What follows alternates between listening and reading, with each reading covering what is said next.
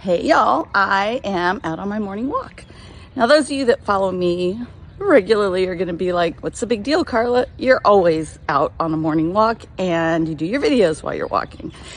So here's what's different about this walk.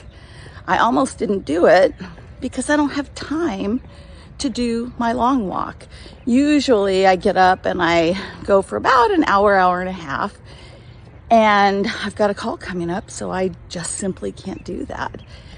You know what I can do though? I can do 15 minutes, and that is what I'm doing. It's not the big walk, and it's not no walk.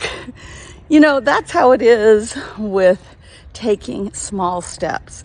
Just because you can't do the big thing or complete something doesn't mean you can't start it. So I'm doing a 15 minute walk, and a little bit later, I'll do another one and I'll get my, my time in on my walks.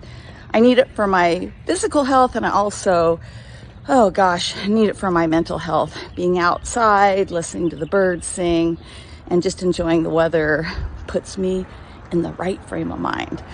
So if you're thinking, oh, I can't do that big thing on my list, instead focus on a small part that you can do.